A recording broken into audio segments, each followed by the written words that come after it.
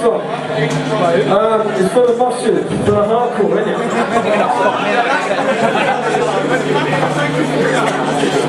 Ready?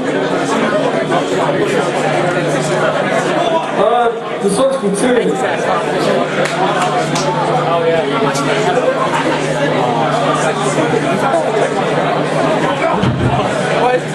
It